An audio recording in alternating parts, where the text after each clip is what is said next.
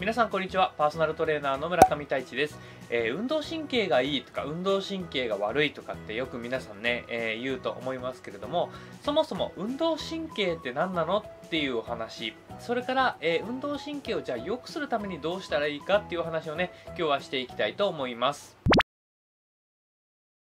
えーそもそも運動神経っていうのはいろいろあるね神経系の中の一つです。運動神経が分類されているものに体性神経系というものがありますね。で体性神経系というのは主に2つ、えーあります、えーそれが感覚神経と運動神経なんですね、え感覚神経っていうのは簡単に言うと外部からの情報を中枢神経に伝える、え働きをしているものです。例えば熱いものを触ったら熱いとか明るいところに来たら明るい暑いところに来たら暑いっていうのを感覚として感じて中枢神経に伝えるっていうことをしているのが感覚神経です。で、えー今日のテーマ運動神経ですけれども運動神経というのは中枢神経から、えー各筋肉に、えーこういう動きをしなさいよっていう信号を伝えるのが運動神経です。です。なので運動神経が良いというのはこの神経伝達のスピードがねスムーズで速いことを、えー表しています。もう一つ今日はあまり深くは触れませんが、えー自律神経系というのもありますね。自律神経は交感神経と副交感神経というのがあって、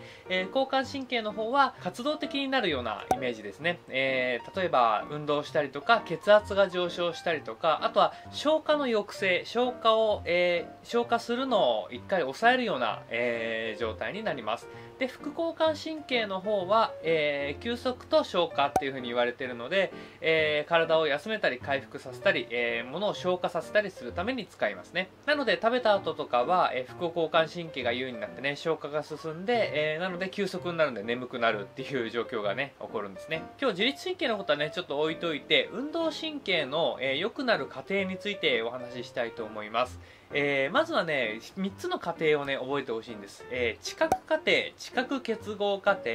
自律過程っていうのがあります。簡単に言うと上から、えーまだ見て真似するけどあまりよくできないっていうのが知覚過程。で知覚結合過程っていうのはなんとなく探りながらも見て真似すればできるようになってるのが知覚結合過程ですね。自律過程というのはその動きが自分でも、えー意識せずに、えー無意識でできるのが自律過程というふうに、え言われています、えこれをね、え徐々に進めていって最終的には自律過程まで持っていかなきゃいけないわけなんですけれども、えこれに大事なのがやはり反復なんですね。この前ね正しい動きを覚えるための反復回数について、えー説明をしましたけれども、えーこの自律過程までしっかりね自分で覚えて自分のものにするまで自律過程に行くまで、えーしっかりとしたフォームで反復をしなければいけないということですね。でこの前もお話ししたんですけれどもここで間違ったフォームをねぜひやらないでほしいんですね。間違ったフォームを繰り返せば繰り返すほど誤った神経伝達の回路が形成されていってしまうんです。正しい神経伝達の回路を作っていかないと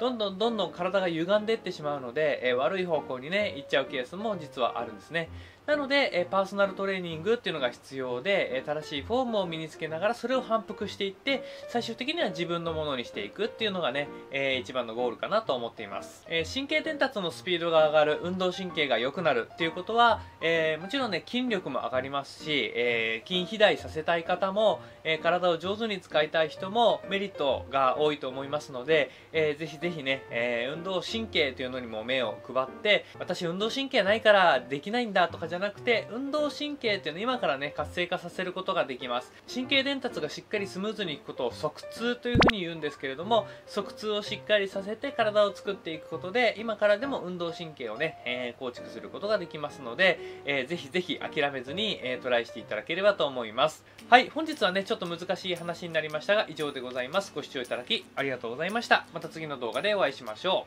う。バイバイ。